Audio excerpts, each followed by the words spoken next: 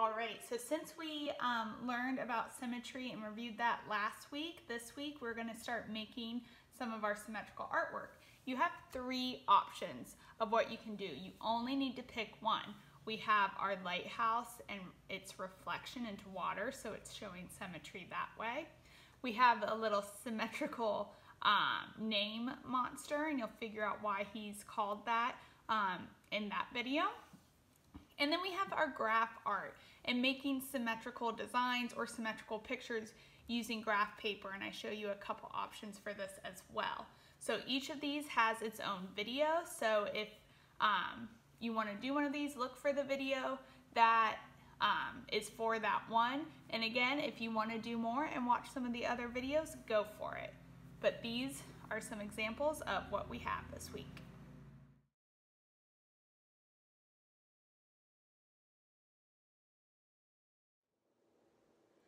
Right, our final option, option three, is some graph paper kind of design art. Um, you could make something like this. If you have graph paper at home, um, great. If not, I am putting um, some grids up on my website that you can print off, some with tiny squares like this, and then some um, with slightly bigger squares if that is easier for you. Um, but what's important is that we are making symmetrical designs. So whatever you do on one side has to be mirrored on your other side of your line of symmetry. So right here would be one line of symmetry, right? Whatever's happening here is happening over here. But then for this one, I made two lines of symmetry. And that's how you get kind of this design like this. So I have this line here and this line here. And whatever happens in one happens on the other, okay? Um, I'm gonna show you another way and show you how to do this. So this is my blank graph paper, and again, if you um, don't have any, go on my website and print some off. But I need to find my line of symmetry. So I'm going to do that. I could either count the little squares, that's a lot of work. Instead of doing that, I'm just gonna fold it in half. Okay, so um, up to you, but for the picture I wanna make, I'm going to do it long ways, like a hot dog, long and skinny. Um, if you're doing this one, I folded it both ways, okay, and then I found the middle. But keeping it simple, I just fold it in half and open it back up, and now that fold is marking the line of boxes that are the middle. So that's gonna be my line of symmetry, okay? So now I can go in and I can start coloring in my boxes. If you wanna plan this out first and draw with a pencil, you can.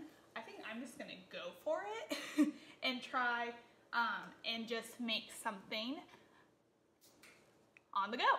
So I think I wanna make a picture of something instead of just designs and I wanna make a tree. So I'm gonna start with the ground. So I'm gonna start coloring in some squares for the ground. I'm gonna use markers for this. And I think what I'm gonna do is I'm gonna make it a little uneven just so it's not a boring straight line across. All right, I have reached, I've reached my middle square. So I'm gonna color that square in. So this is my line of symmetry here. When I get here, whatever I do on this side, I now need to repeat over here. So watch what I'm gonna do. I'm going to count how many squares out I went, and I'm gonna do the same here. So this is my middle, so that doesn't count. And then I go one, two, three, four, five, six, seven, eight, nine, and I color those. Okay, now I went down one, two, three, four, and I just kind of working my way across.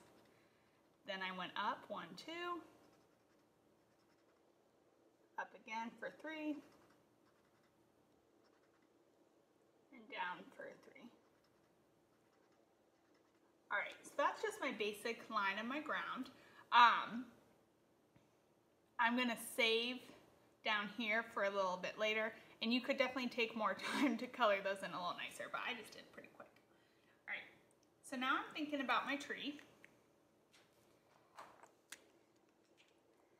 And I'm going to start again on this side. Whatever I do on this side, I'll have to repeat over here. I'm gonna start here.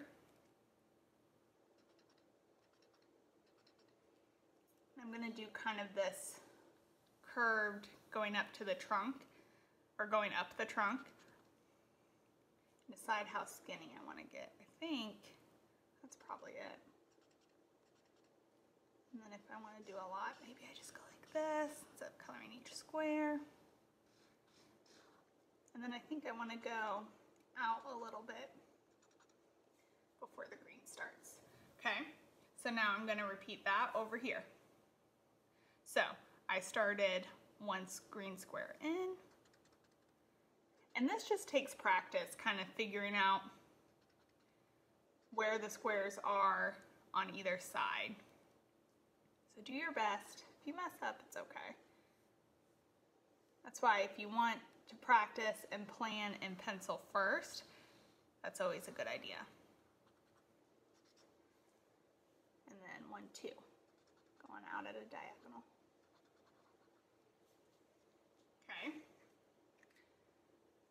Okay. now I'm going to do some kind of um, tree top. I'm gonna again start on this half. I think what I'm gonna do is start kind of where my um, trunk left off and then just kind of fill.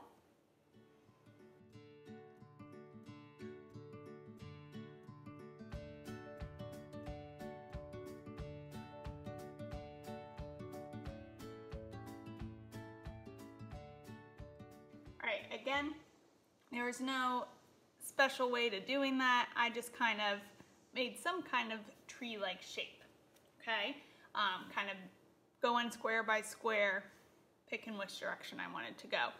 Now is the part where I have to make sure whatever I did on this side, I do on the other. So again, I'm just gonna work square by square. So that's my middle, that's my line of symmetry. So now I need to make that square over here. And so what I'm doing is I'm looking which direction it goes and doing the opposite and how many. So the next one, it continues to go down this way, but then it goes over for two kind of a funny point.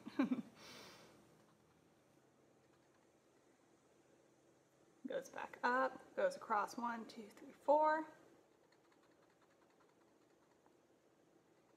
And I can keep going.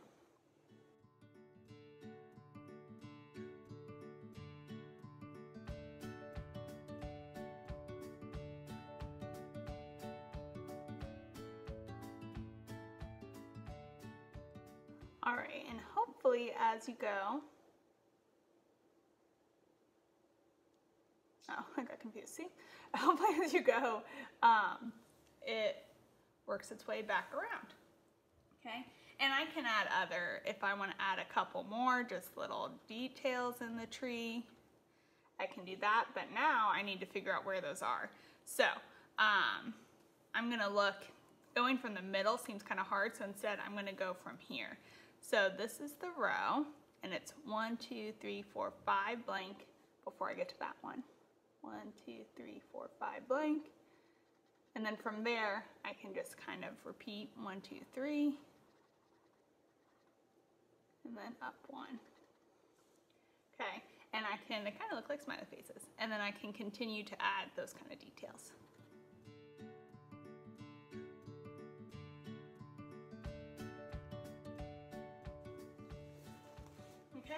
And what I'm doing is I'm leaving all this space in between because I'm gonna go in and I'm gonna actually color with crayon.